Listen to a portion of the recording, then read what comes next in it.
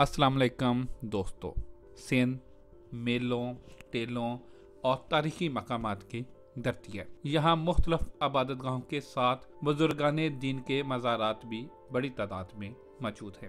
سندھ کی تاریخ نامور صوفی شاعر اور فلاسفر لال شہباز کلندر کے ذکر کے بغیر نامکمل ہے۔ جولے لال، جن کا اصل نام حضرت سید عثمان ہے، لال شہباز کلندر کی زندگی پر بہت کچھ لکھا جا چکا ہے۔ آج کا سہون شریف لال شہباز کلندر کی وجہ سے بین الاقوامی شہرت حاصل کر چکا ہے، جبکہ یہ قدیم شہر سینڈیمن، سینڈیما شواستان شہوستان، سسستان کے مختلف ادوار طے کرتا ہوا سہون تک پہنچا ہے۔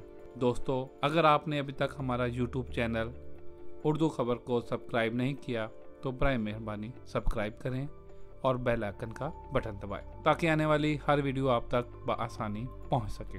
وائس آف سندھ کے سیاحتی و تاریخی محکمات کے دورے کرانے کا مقصد سندھ کی قدیم تہذیب کو اجاگر کرنا اور سیاحت کو فروغ دینا ہے۔ اس بار وائس آف سندھ کے مطالعاتی دورے کا مقصد سہمن شریف میں لال شہباز کلندر کی درگاہ کے دامن سے جڑے قدیم و پر اسرار قلعے کے پشیدہ راز جاننا اور اس قدیم ورثے سے عوام کو روشناس کرانا ہے۔ اس قلعے کی تاریخ اور رواجات اس قدر پچیدہ گہری اور کیا سرائیوں پر مبنی ہے کہ ان سے پردہ اٹھانا اور انہیں سینسی طریقے سے اصل حقائق تک پہنچانا ناممکن ہے۔ سیون کا یہ پر اسرار قلعہ، جس کے اصلی نام سے بھی لوگ ناواقف ہیں، جس کو سکندر اعظم کا قلعہ، کافر قلعہ، پرانا قلعہ یا اب سہمن کا قلعہ کہا جاتا ہے، جبکہ مقامی لوگ اس مقام کو الٹی بستی کے نام سے جانتے ہیں۔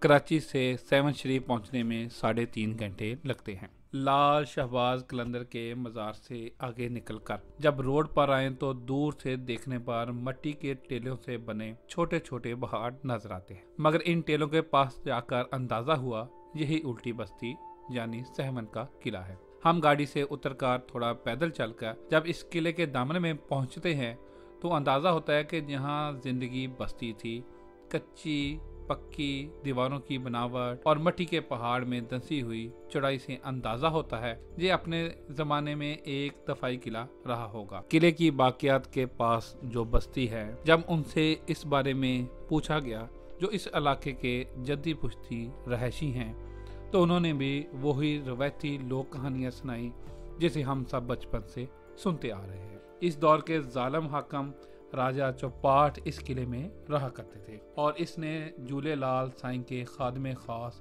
بودلا بہار کو شہید کر دیا تھا۔ تو آپ نے عالم جلال میں اپنے کشکول کو زمین پر ایسا پچکا اور اس وقت یہ بستی الٹ گئی جب سے اس جگہ کا نام الٹی بستی رکھ دیا گیا ہے۔ تاریخ کے اوراق آج بھی سہمن کے قدیم ترین ہونے کے شوہد دیتے ہوئے نظر آتے ہیں۔ تین سو چھبیس قبل از مسیح میں سیون کا حکمران راجہ سمباس تھا۔ راجہ سمباس نے سکندر کے خلاف بغاوت کی تھی۔ تاریخ کے مطابق سمباس کا تعلق بتما سے تھا۔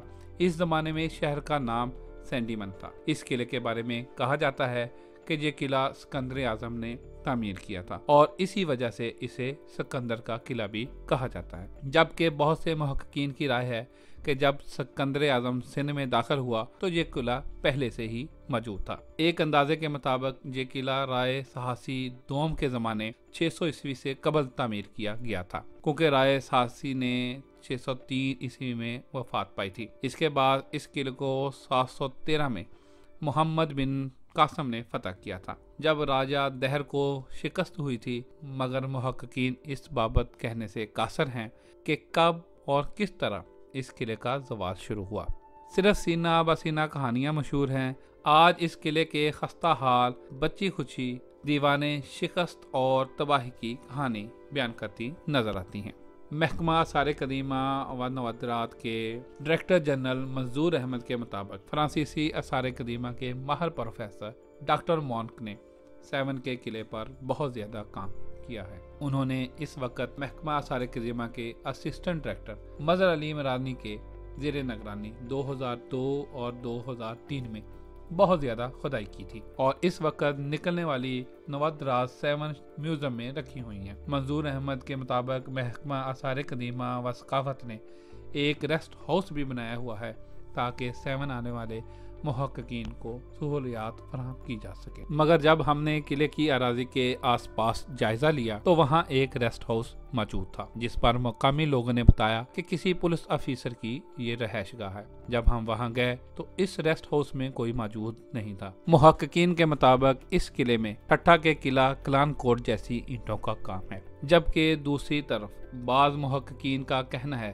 کہ اس کے بھی شواہد موجود ہیں۔ کہ سکندر ہندوستان آنے سے قبل یہ قلعہ موجود تھا اور شاید اس نے اپنی فوج کی ضروریات کو پورا کرنے کے لیے اس کی مرمت کی تھی۔ قلعے کے محراب اور دیگر خصوصیات مشرقی ہیں۔ ڈاکٹر مائیکل بیون کے مطابق، اس علاقے میں فرینچ اسکالرز نے لمبے عرصے تک تحقیق کی ہے، مگر ابھی تک ہم اس کے حقائق تک نہیں پہنچ سکے ہیں۔ تاریخ پر لکھنے اور ان کی باقیات کو بچانے کے لیے کوشاں۔ آچر خس خالی کے مطابق، اس قلعے میں بچانے کے لیے اب کچھ بھی نہیں بچا۔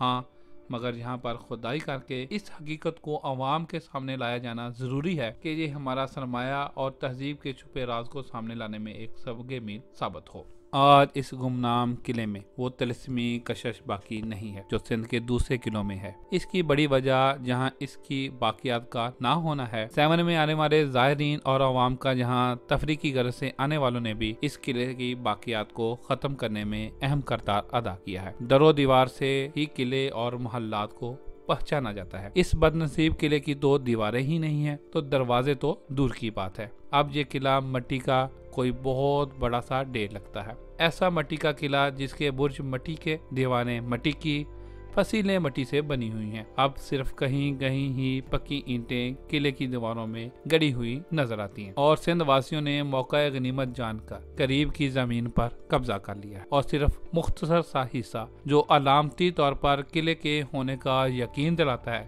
وہ قلعہ جس پر کئی بادشاہوں اور حکمرانوں کو تحفظ فراہم کیا جاتا تھا، جب ان کو حفاظت کی ضرورت پڑی تو کسی نے اس کی طرف توجہ نہیں دی۔ محکمہ سارے قدیمہ وفاق کے پاس ہونے کا جتنا جتنا نقصان صوبہ سندھ کا ہوا ہے، اتنا نقصان کسی اور صوبے کا نہیں ہوا۔ اٹھارہویں ترمیم کے بعد سے محکمہ آثار قدیمہ حکومت سندھ کے پاس آ گیا ہے، جس سے محکمہ اپنی تہذیب کے اثار کو بچانے کے لیے کوشاں ہیں۔ آنے والے دنوں میں مٹی کے ٹیلے کی طرح دکھائی دینے والا قلعہ بھی معدوم ہو جائے گا جب پھر برسات میں بہ جائے گا۔ پھر ہم اس قلعے کے بارے میں صرف کتابوں اور انٹرنیٹ پر ہی پڑھا کریں گے۔ دوستو، اگر آپ کو ہماری آج کی ویڈیو پسند آئے تو بیل آئیکن کا بٹن دبائیں اور ہمارے یوٹیوب چینل اردو خبر کو سبسکرائب کریں تاکہ آنے والی ہر ویڈیو آپ تک بآسانی پہنچ سکے۔